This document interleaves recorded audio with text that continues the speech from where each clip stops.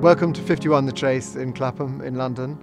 I'm Charles. And I'm Rupert, and uh, we've been here for 35 years. I hope that you'll enjoy this short virtual tour and that we can welcome you for real later when we can all move about again.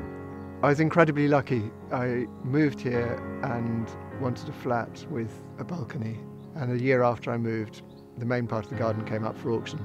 And we had wonderful neighbours who wanted a tennis court but asked if anybody wanted a garden. And I said I wanted a garden and they didn't bid against me, and I bought it.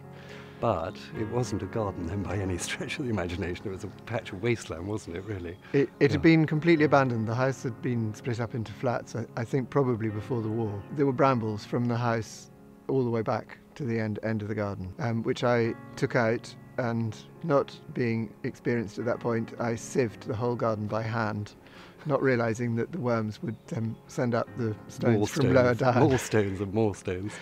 So that was where that was where I started. I think my precise approach to architectural work, which is crucial, is left behind, and it's all about the planting.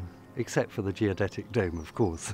That's the architectural nod, I think, isn't yes, it? Really, yes. Yeah. Which I gave Rupert a long, long time yeah. ago. Which is a great place to bring on seedlings and seeds, and, and we bring on some of our exotica there. And then, in quite an old-fashioned way, uh, we bring on plants that we can bring into the house in the winter. So we have um, flowering plants for winter. We're making this film because we normally open for tulips, and we have two and a half thousand tulips, all of which come from Bloms. I've always grown tulips supplied by Bloms, and the first year we grew them, I said to Rupert, I now embraced that they won't look like Chelsea Flower Show. Every year they do. They, they are amazing. So the tulips are really the principal thing at this moment. And the tree peonies. And the tree peonies. Are looking um, quite fantastic. Which is a be- beautiful one in the main garden, which is uh, Ringpo. And then... The Judas the, tree, which is out right now, of course being the Easter tree. Looking really fantastic. And, and early echiums, which are just showing now. And as I the, think the echiums, are, they, when, they're, they when they're in full flower, they're really like um, plant beehives. They're just so attractive to the bees. They just buzz all, all day long. And we're uh, surrounded by Coronilla glauca subspecies valentina, which is amazingly scented and flowers from February until May. And then behind me, the honeysuckle Anna Fletcher, which was bred by a great friend of mine, and uh, there are very few of those around, and she gave me it about five years ago, and it just loves it here. It's quite a fantastic flower really lovely, isn't it? Beautiful, very beautiful. Yeah. As you can see, I'm, I'm very much a plantsman, and we started out with no paths at all. And then I realised I was endlessly trampling the same bit of ground, and I thought that it might be practical to start having paths. And when we didn't open the garden, the paths really led nowhere.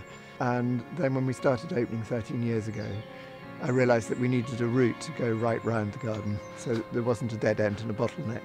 Um, so we added uh, a second lot of steps um, from the mound. Just as well, because we once were open and we had 700 visitors in one afternoon. So um, we certainly needed a circular route then, didn't we? We did. Amazing day.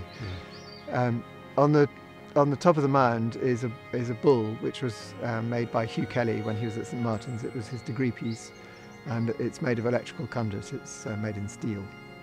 So um, naturally, we're really hugely disappointed that we can't uh, open our garden as normal because we really love having everyone in to look at the garden, and of course for the National Garden Scheme, such a astoundingly good cause. But uh, with any luck, we might, who knows, we might be able to have an opening in July. Um, and certainly feeling that then we'll be opening in September. And as soon as we possibly can then we're going to have pop-up openings so that uh, keep an eye on the website because we as soon as we can we're going to open our gates and welcome people in. And there's always something to look at in this garden thanks to you